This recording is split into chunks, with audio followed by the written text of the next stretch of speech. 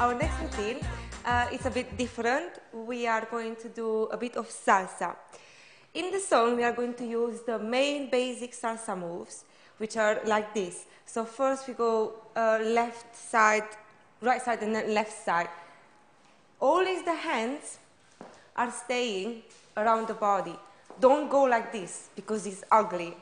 This is more like rumba. That's rumba. Salsa is hands near the body and you do all the work with your legs and your hips. Now the count, the rhythm, is not on one, two, three, four like we know, is on four, one, two, three. Because the most, the most important movement is the first one. So it's one. So it's four, one, two, three. Four, one, two, three. The next basic salsa move is exactly the same, but you go forward. I'm going to show you from the side because it, it shows better. And you do the same. You go front first and then backwards. Front, backwards. Make sure you don't move so much the arms and you really push your hips.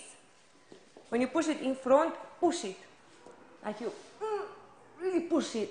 It goes like this. And you try to make rounds as well.